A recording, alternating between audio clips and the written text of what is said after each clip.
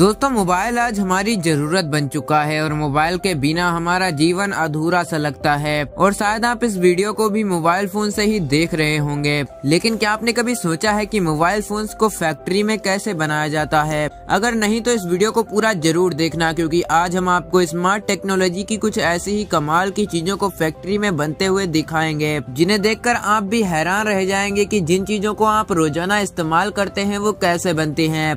Mobile charger making. दोस्तों, किसी भी मोबाइल को चलाने के लिए उसे चार्ज करना बेहद ही ज़रूरी होता है और मोबाइल को चार्ज करने के लिए एक चार्जर की ज़रूरत पड़ती है। लेकिन क्या आपको पता है कि हमारे मोबाइल को पावर देने वाले यही मोबाइल चार्जर्स फैक्ट्री में कैसे बनते हैं? दोस्तों, मोबाइल चार्जर को बनाने के लिए सबसे पहले मोबाइल चार्जर के कवर को बनाया जाता है। चार्जर को बनाने के लिए सबसे पहले कच्चा रो मटेरियल प्लास्टिक का दाना एस और पोल्यूमर को इस मशीन में डाला जाता है। और ये मशीन मशीन इन सभी मटेरियल्स को मिक्स करके इनका एक पेस्ट तैयार कर देती है। अब इस पेस्ट को मोल्डिंग सेक्शन में भेजा जाता है, जहाँ इस पेस्ट को मोबाइल चार्जर के कवर का आकार दे दिया जाता है। और इस तरीके से मोबाइल चार्जर का कवर तैयार कर लिया जाता है। इसके बाद चार्जर के कवर के अंदर करंट देने के लिए प्लग को लगाया जाता है। इसके बाद चार्जर के सबसे इम्पोर्टेंट पार्ट यानी कि इसके सर्किट को बनाया जाता है।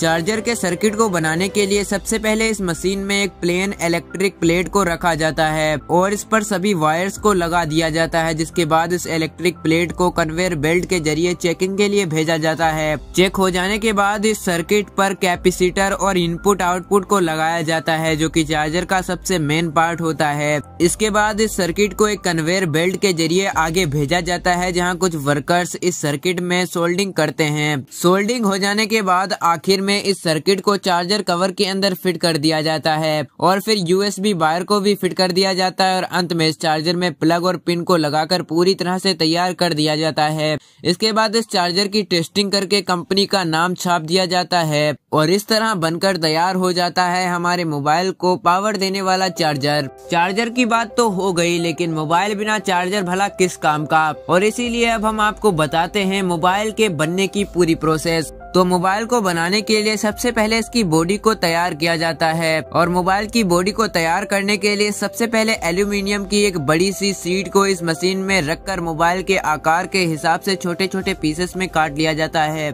जिसके बाद एक मशीन के ज़रिए इन एल्यूमिनियम के पीसेस में होल और कटिंग की जाती है। इसके बाद ये सीएनसी मशीन इन मोबाइल कवर्स को एक सही आकार और शेप दे देती है, जिसके बाद बने हुए मोबाइल कवर्स को पानी में धोया जाता है। अब मोबाइल की बॉडी पूरी तरह से तैयार हो जाती है। मोबाइल की बॉडी तैयार हो जाने के बाद मोबाइल की टच स्क्रीन को तैयार किया जाता है। टच स्क्रीन को तैयार करने के लिए एक मशीन में ग्लास की एक बड़ी लेयर को रखकर मोबाइल के साइज़ के हिसाब से छोटे छोटे टुकड़ों में काट लिया जाता है और इसके बाद इन्हें एक सही सेप देकर इन पर पॉलिश कर दी जाती है। पॉलिश करने के बाद इन्हें पानी में अच्छी तरह से साफ़ किया जाता है। पूरी तरह से साफ़ हो जाने के बाद टच स्क्रीन पर कोटिंग की जाती है। कोटिंग हो जाने के बाद मोबाइल स्क्रीन पूरी तरह से तैयार हो जाती है। टच स्क्रीन पूरी तरह से तैयार हो जाने के बाद एलसीडी टच स्क्रीन का विजुअल इंस्पेक्शन किया जाता है क्योंकि मोबाइल फ़ोन के अंदर सारा का सारा काम टच स्क्रीन का ही होता है, इसीलिए इसका एकदम सही होना ज़रूरी होता है। दोस्तों टच स्क्रीन पैनल तैयार होने के बाद इसे कन्वेयर बेल्ट के ज़रिए आगे भेजा जाता है, जहाँ पर ग्लू मशीन के ज़रिए इस टच पैनल पर चारों ओर ग्लू लगा दिया जाता है। और फिर इस टच पैनल को मोबाइल के कवर से जोड़कर कन्वेयर बेल्ट के ज़रिए आगे भेज दिया जाता है। अब शुरुआत होती है प्रिंटेड सर्किट बोर्ड यानी कि पीसीबी को बनाने की, जिसे कि मोबाइल का हार्ट भी कहा जाता है। इसी पीसीबी के अंदर मोबाइल के सारे इलेक्ट्रिकल पार्ट जोड़े जाते हैं, जिसे कि सोल्डिंग भी कहते हैं। सोल्डिंग के दौरान इसका कोई भी पार्ट डैमेज ना हो, इसीलिए इस पर पेपर टेप लगा दिया जाता है। इसके बाद इस पीसीबी पर फ्रंट कैमरा और बैक कैमरा को लगाया जाता है। अब पीसीबी पर वाटर लेवल स्टिकर लगाया जाता है। ये एक सफ़ेद स्टिकर होता है और अगर फ़ोन पानी में गिर जाए तो ये पेपर लाल हो जाता है, जिससे सर्विस के वक्त पता चल जाता है कि फ़ोन पानी में गिरा था। वाटर लेवल स्टिकर लगाने के बाद इस पर माइक को फिट किया जाता है।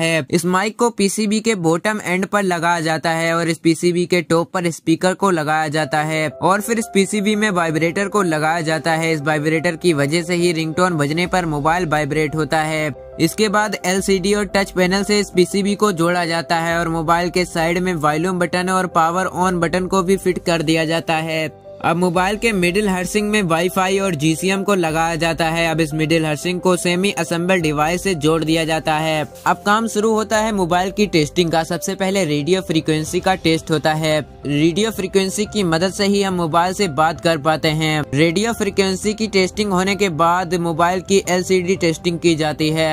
एलसीडी टेस्टिंग ओके होने के बाद multi toucher speaker, mic, gravity sensor, front camera, back camera और फ्लैश लाइट इन सभी चीज़ों की भी टेस्टिंग की जाती है। इन सभी चीज़ों की टेस्टिंग हो जाने के बाद एक रोबोटिक मशीन मोबाइल फ़ोन के सभी स्क्रू को सही से लगा देती है। मोबाइल के सभी स्क्रू लग जाने के बाद मोबाइल तैयार हो जाता है और अब काम शुरू होता है मोबाइल की पैकेजिंग का। पैकेजिंग के लिए सबसे पहले असेंबल डिवाइस पर आईएमईआई लेवल लगाया जाता है। इसके बाद एक ऑपरेटर पे एक हाउसिंग लगाकर डिवाइस की असेंबलिंग कंप्लीट करता है और इसके बाद मोबाइल को बॉक्सेस में पैक कर दिया जाता है, जिसके बाद इन्हें बिकने के लिए भेज दिया जाता है। वैसे आप किस कंपनी का मोबाइल यूज़ करते हैं, हमें कमेंट सेक्शन में ज़रूर बताइएगा। और अगर आपको ये वीडियो अच्छा लगा हो तो वीडियो को लाइक शेयर एंड चैनल को सब्सक्राइब ज़रूर कीजिएगा। मिलते हैं फिर किसी इंटरेस्टिंग वीडियो में। टेल देन जय हिंद।